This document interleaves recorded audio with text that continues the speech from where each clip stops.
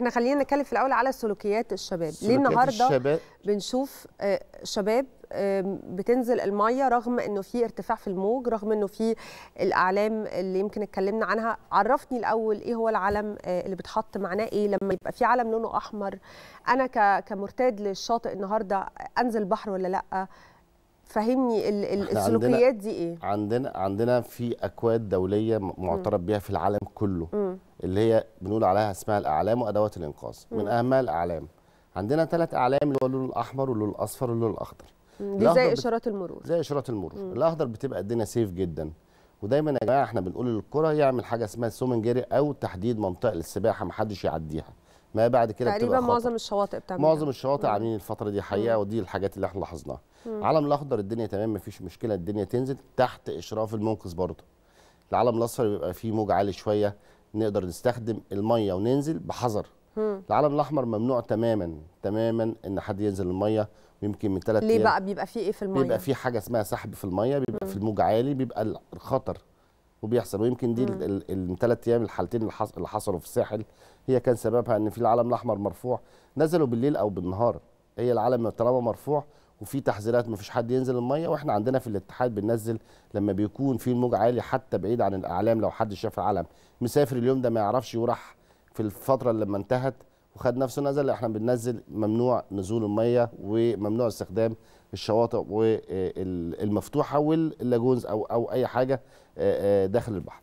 طب يعني لما بيبقى فيه سحب في بعض الناس تقول لك أنا بعرف أعوم كويس قوي ده أنا كنت سباح عظيم وأنا عايزة أقول بالمناسبة حاجة بس أنا قبل كده حصلت لي.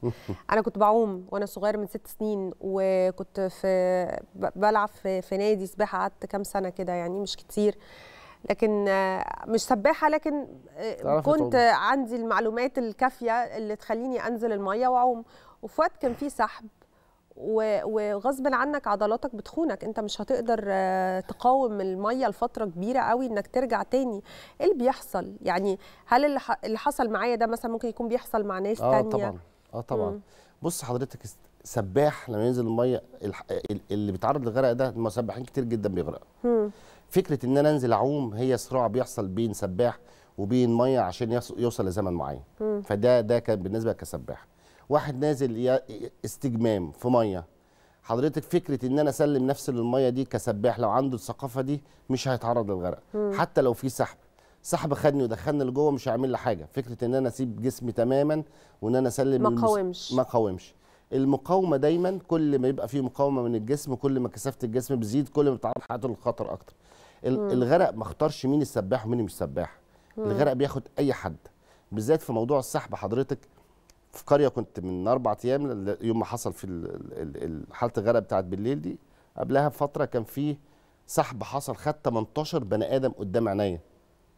طب وح- كويسين آه حصل لهم كويسين؟ وخرجوا. وما شاء الله المنقذين قاموا بدورهم كويس قوي. والمنقذين مؤهلين ومدربين بشكل كويس جدا.